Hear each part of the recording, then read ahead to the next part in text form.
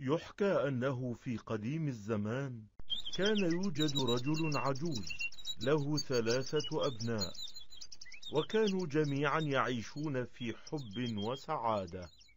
وفي أحد الأيام مرض الأب وازداد الألم عليه حتى اقترب من الموت.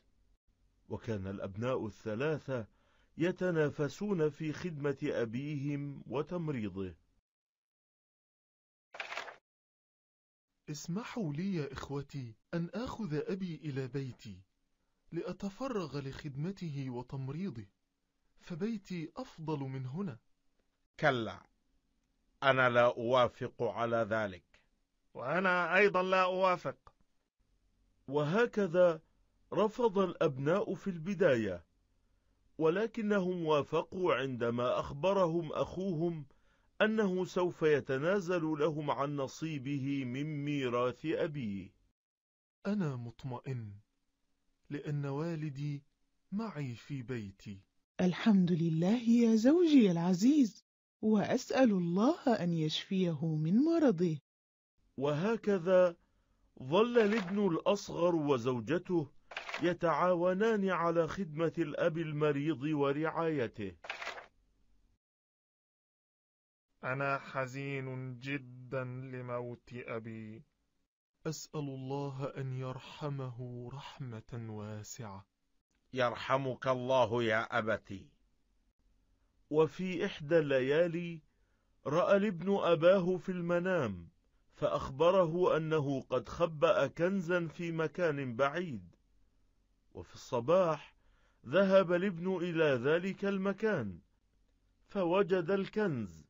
وذهب به إلى إخوته فقالوا له لقد تنازلت لنا عن نصيبك في ميراث أبيك.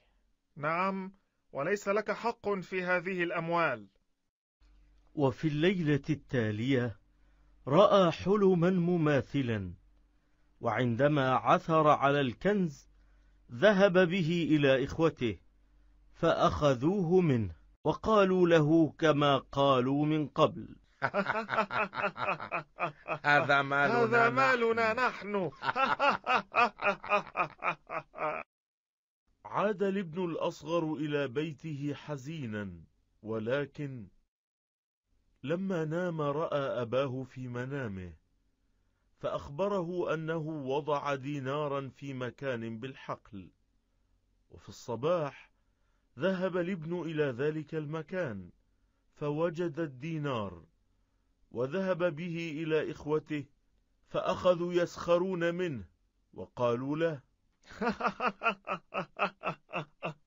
ماذا؟ دينار واحد؟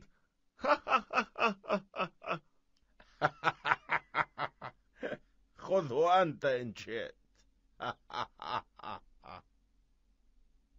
وفي الطريق إلى البيت اشترى الابن سمكتين بذلك الدينار.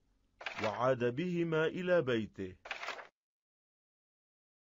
سوف أعد لنا طعاما لذيذا بهاتين السمكتين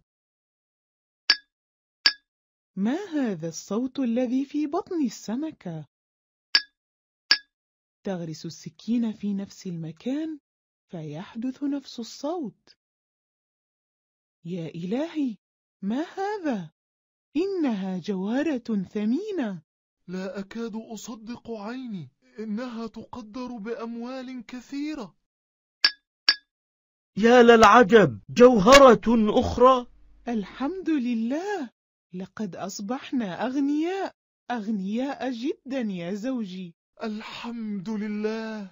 وهكذا رزق الله الابن بالجوهرتين لأنه كان أمينا. وأخبر أخويه بالكنوز التي تركها أبوهم وأصبح هذا الابن أغنى رجل في المدينة كلها.